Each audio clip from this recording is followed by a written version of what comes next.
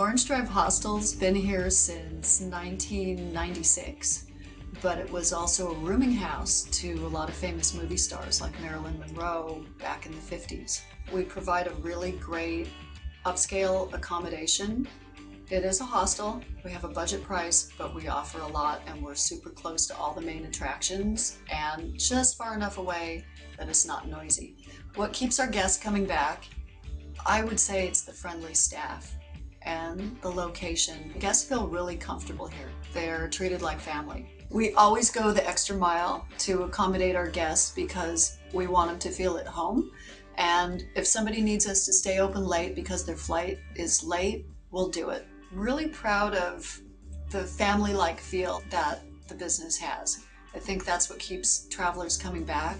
They feel welcome, they feel taken care of, and it's got a great vibe. The next time you're looking for a place to stay in Hollywood, come stay at Orange Drive Hostel. It rocks.